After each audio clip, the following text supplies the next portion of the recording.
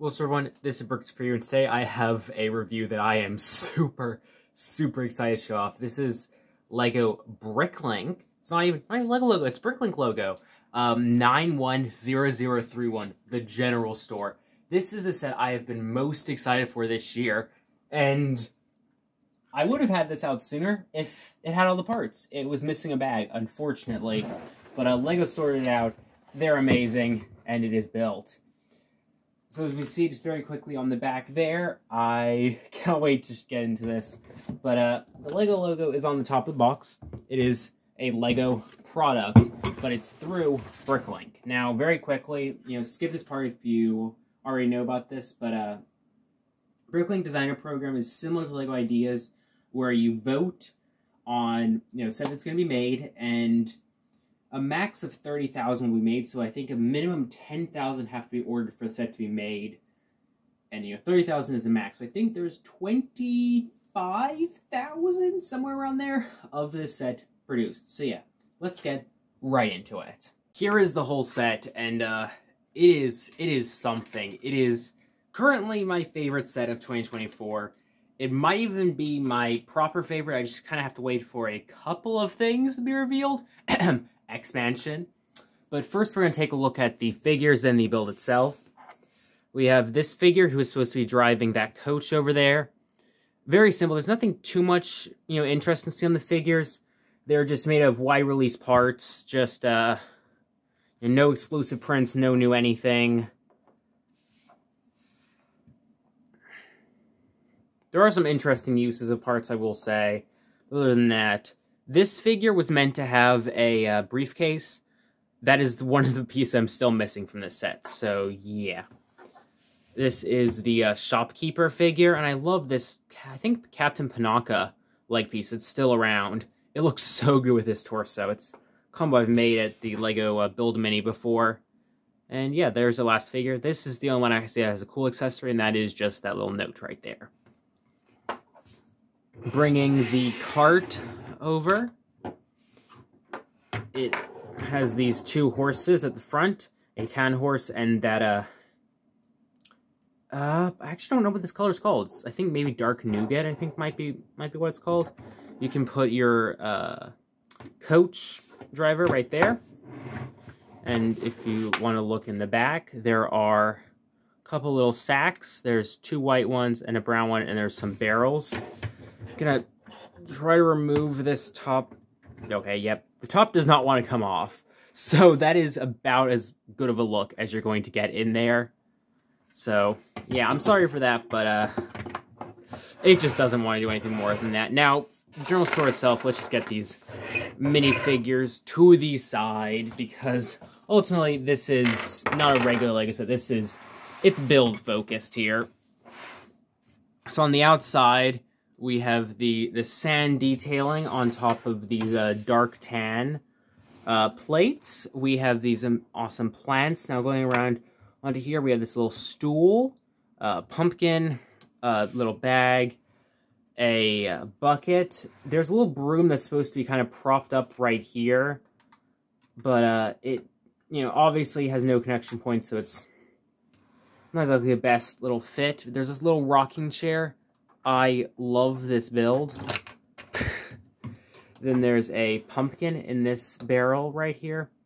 A uh, baguette in that barrel, some carrots, and an apple. Turning it around, we have this green bush back here.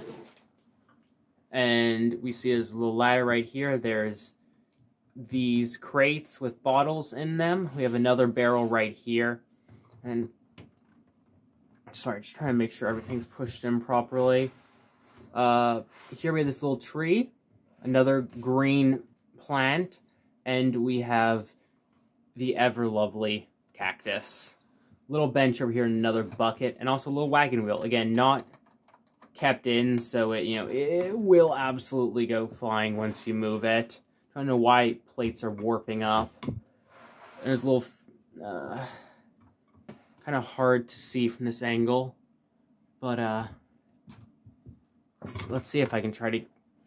There's a little food and mining tools sticker you can see up there, and I already felt stuff moving the moment I brought this up, but uh, we have the general store up there with Lucky Town.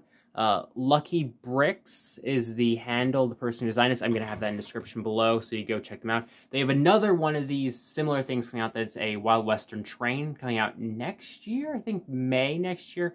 Bricklink Designer Program. Can't wait to fund that. We have a little vulture up there.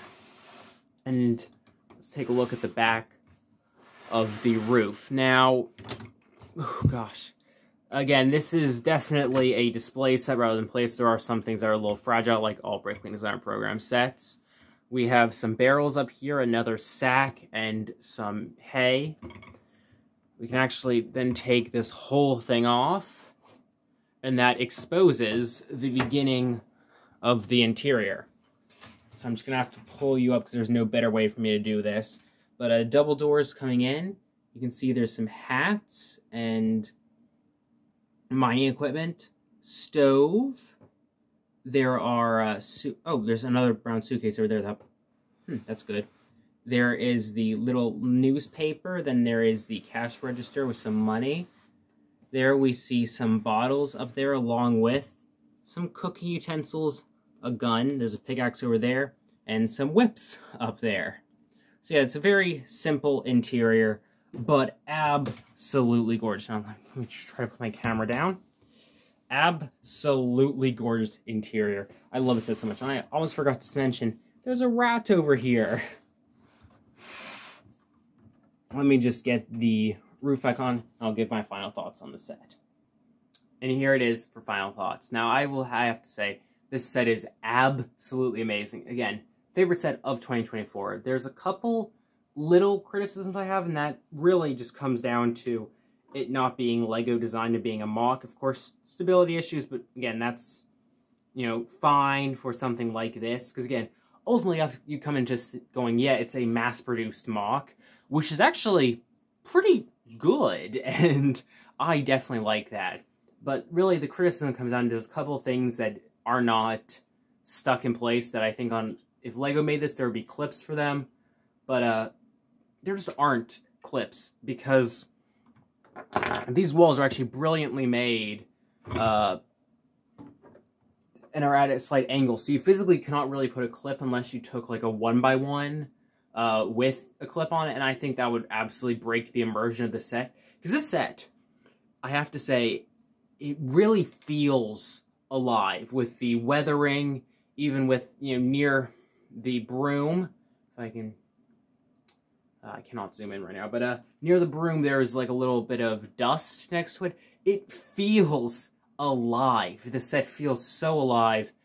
I wish it got a full wide release, you know, like a normal LEGO set instead of just the... I mean, I don't want to say small release, but it's uh, definitely a less wide release, if you will, that Design Program offers. But again, I am so, so happy this had a release at all.